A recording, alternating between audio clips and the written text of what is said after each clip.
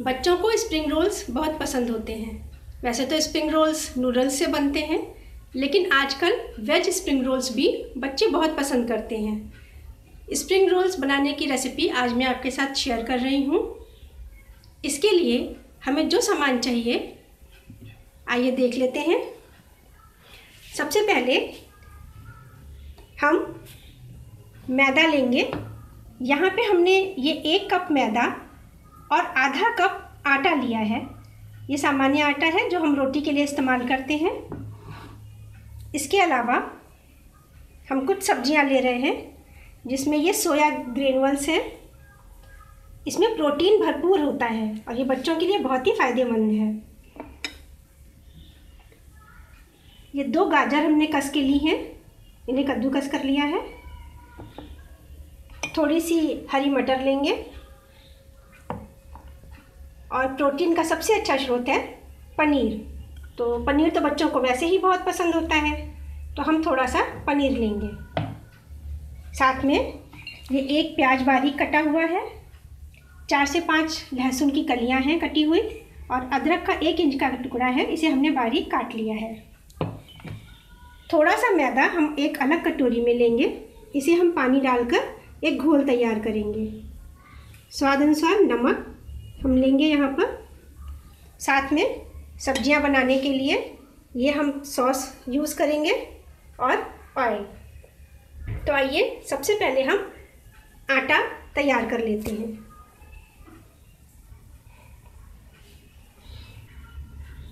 आटा तैयार करने के लिए हम आटे में वन फोर्थ चम्मच नमक ऐड करेंगे। और दो चम्मच वेजिटेबल ऑयल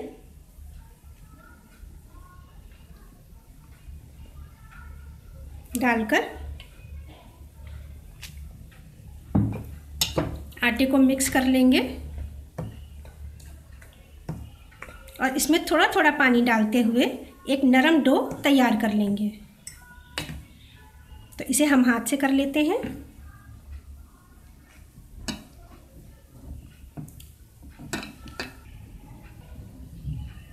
ये आटा तैयार हो गया है। अब हम इसमें थोड़ा सा तेल लगाकर इसे 10 से 15 मिनट के लिए ढक के रख देंगे।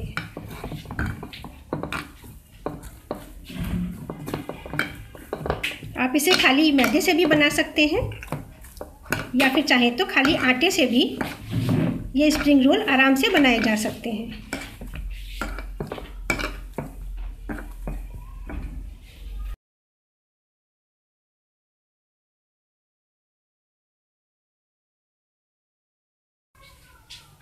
गैस जला लेते हैं।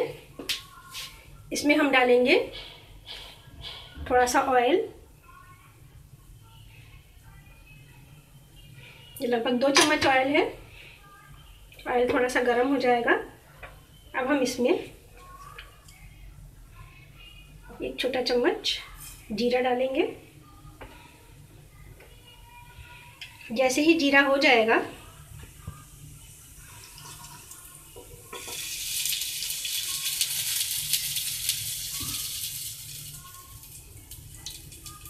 इसमें ये लहसुन डाल के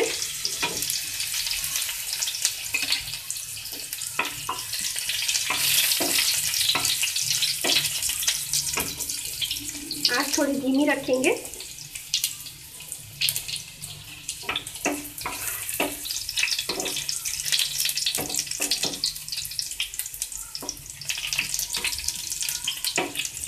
जैसे ही लहसुन थोड़ा सा लाल होने लगेगा। हम इसमें ये कटी हुई अदरक। आप इसमें हरी मिर्च भी डाल सकते हो। लेकिन बच्चों को चूँकि तीखा लगता है, इसलिए हम इसमें हरी मिर्च नहीं यूज़ कर रहे हैं। और ये बारीक कटा प्याज डालकर फ्राई करेंगे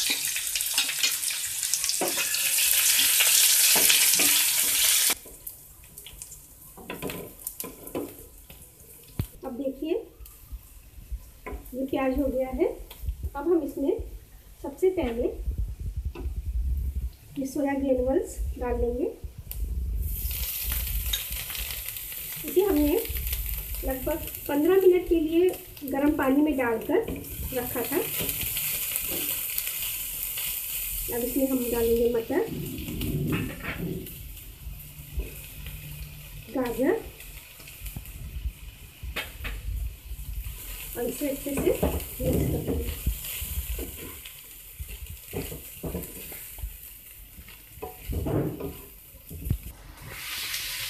अब इसमें लगभग आधा चम्मच नमक ऐड करेंगे। और थोड़ी सी काली मिर्च। ये भी लगभग आधा चम्मच ले लेंगे। और इसे, क्योंकि मटर है तो हमें थोड़ा पकाना पड़ेगा तो इसे पाँच मिनट के लिए हम ढक करके हल्का सा पकना, पकने देंगे। अगर थोड़ा सा ड्राई लगे तो इसमें हल्का सा पानी का छीटा दे देंगे, ताकि मटर जल्दी पक जाए और ये नीचे से लगे नहीं तो ये देखिए,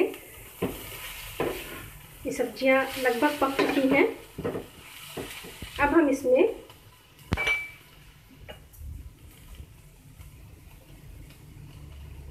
आधा चम्मच सोया सॉस मिलाएँगे। आधा चम्मच ही टमाटो सॉस।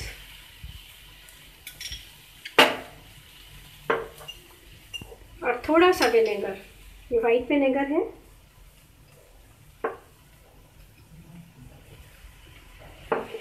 और इसे अच्छे से मिक्स कर देंगे।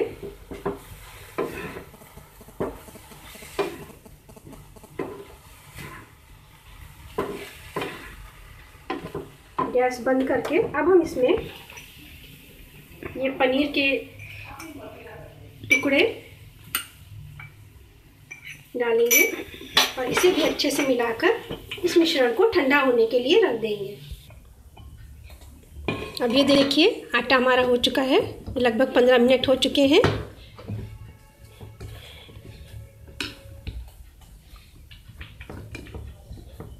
अब हम ये जो मैदा हमने थोड़ा सा बचाया था, इसमें पानी डालकर एक गाढ़ा सा घोल तैयार कर लेंगे।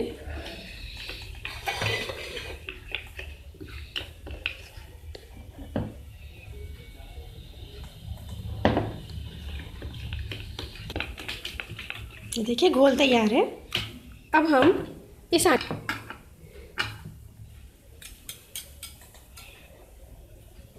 एक छोटे नींबू के आकार की लोई बनाकर इसे पतला रोटी जैसा बेलेंगे।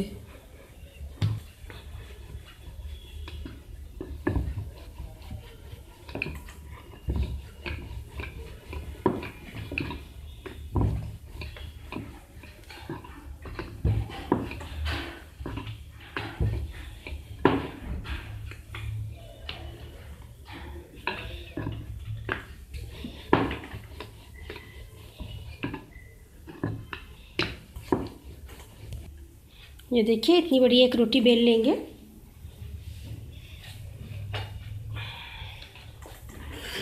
और इसी तरह से हम बाकी की रोटियाँ भी बेल कर रखेंगे। ये हमने सभी रोटियाँ बेल ली हैं और इतने आटे से लगभग छः रोटियाँ हमने बनाई हैं। अब इन रोटियों को हम तवे पर थोड़ा थोड़ा सेकेंगे। पूरी तरह नहीं सेकना है, बस तवे पर थोड़ा सा उलट पलट कर सेक लेंगे। तो तवे को मध्यम आँच पे रखते हुए तवा थोड़ा सा गर्म हो जाए तो हम ये रोटी को डालेंगे। ये देखिए, एक तरफ़ से कलर चेंज होने लगा है। अब हम इसे पलट कर दूसरी तरफ़ से भी ऐसे ही सेक लेंगे।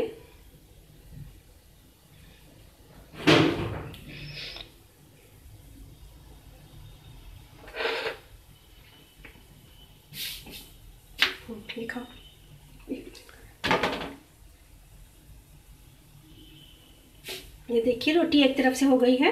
अब इसे हम ऐसे ही अलग रख लेंगे और इसी तरह से बाकी की सारी रोटियाँ भी सेक लेंगे।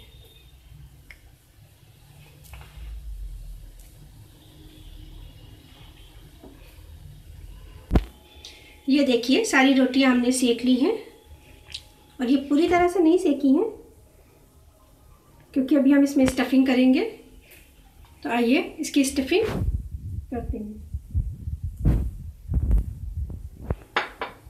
स्टफिंग करने के लिए हम एक प्लेट में एक रोटी रखेंगे और सबसे पहले हम इसमें हम आटे पे रोटी पे, ये जो हमने मैदे का घोल बनाया था, ये अच्छे से लगा लेते हैं। और इस पर हम ये स्टफिंग भरेंगे, ये बीच में भरेंगे।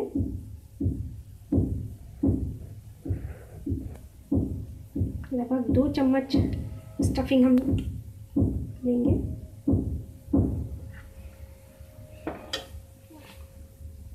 और इसको एक साइड में करके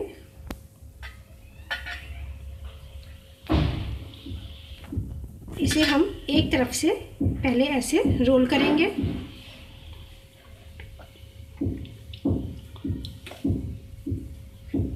अब अच्छे से मैदा लगाते हुए हम इसे दोनों साइड से भी बंद कर देंगे। ये ध्यान रखना है कि ये अच्छे से चिपक जाए, नहीं तो फ्राई करते समय ये खुल जाने का डर रहेगा। और जो अंत में बचेगा, उस पर भी हम अच्छे से मैदा लगाएँगे और इसे भी ठीक से चिपका देंगे।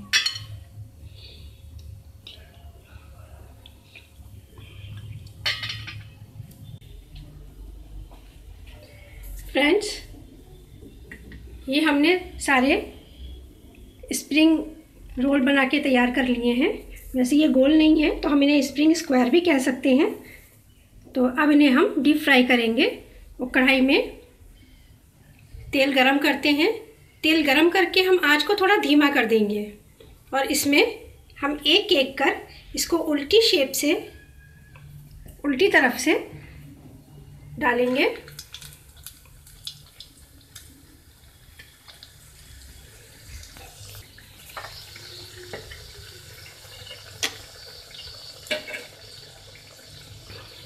जब ये एक तरफ़ से सीख जाएँगे, तब इन्हें पलट कर हम दूसरी तरफ़ से भी सेक लेंगे।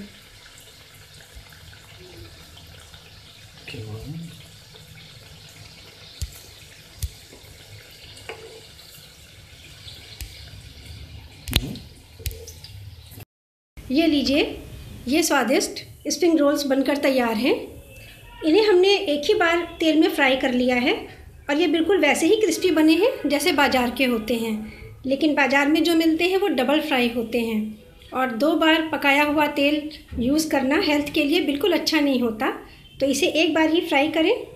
ये बिल्कुल आपको बाज़ार वाले स्प्रिंग रोल्स का स्वाद देंगे, इसे आप टमाटर सॉस के साथ, हरी चटनी के साथ आराम से सर्व कर सकते हैं।